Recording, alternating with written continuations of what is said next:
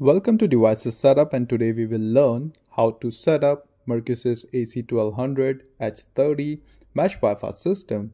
You can follow this guide to set up any model of the Mercusys Halo Mesh Wi-Fi system, be it S12, H60, H70, H80, H90, etc. So to start with, first and foremost, you will need to connect your Mercusys Halo unit to modem using an Ethernet cable. Now you can use any of the Halo units available to connect with the modem.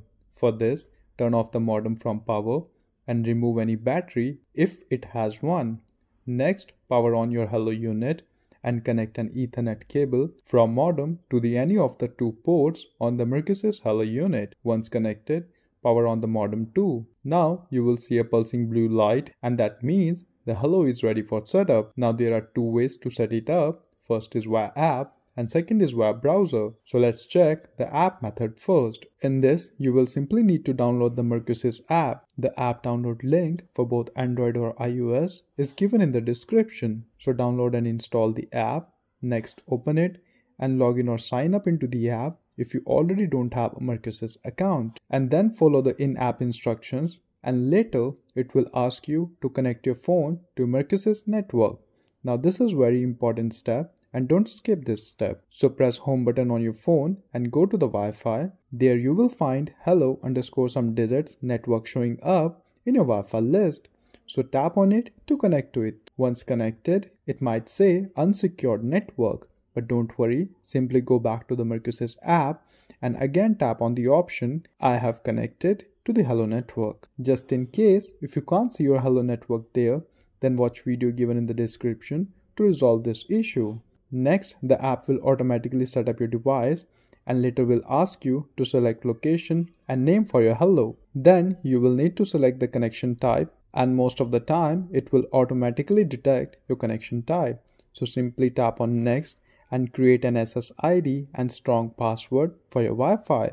Do remember to click picture of this password just in case if you keep on forgetting your own Wi-Fi password just like me. Then just follow on-screen instructions to complete the setup. Once done, you can try connecting more devices to this newly created Mercusys network. Moreover, if you want to add new Halo units to this system, then on your Mercusys app, tap on the plus icon on the top right hand corner and then the app will guide you to plug the second Halo unit into a power source and wait until you see a pulsing blue LED.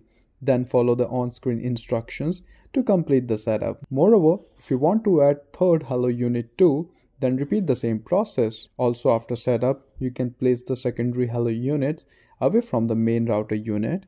The distance between them can be around 20 to 30 feet you can try plugging your Halo units in different locations to find the best topology that suits you. For stronger internet, you can also connect your PC or gaming console directly to the Ethernet ports available on your Mercusys system. Now let's check the second setup method that is via browser just in case if the first method is not working for you. So in this you can use your phone or computer and then go to the Wi-Fi list there you will find Mercusys hyphen some digits or halo hyphen some digits network name.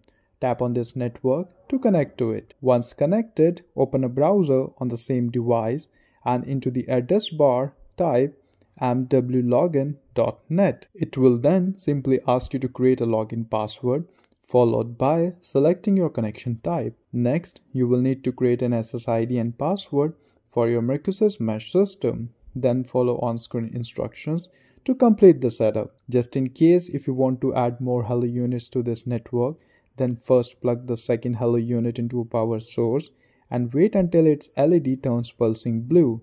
Then press the pair button on your primary Halo unit and then press the pair button on the second Halo unit. And on successful setup, the light will change from solid blue to solid white. Just in case if your halo is not setting up, or isn't working at all, then watch the diagnostic video given in the description. Also, don't forget to like and subscribe if you found the video useful. Thank you.